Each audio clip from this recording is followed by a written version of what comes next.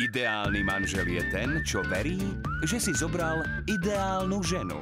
Co kdybychom se spolu přihlásili do kurzu salsy? Nie. Ja nebudem zo seba robiť niekde idiota. To trénovat nepotřebuješ.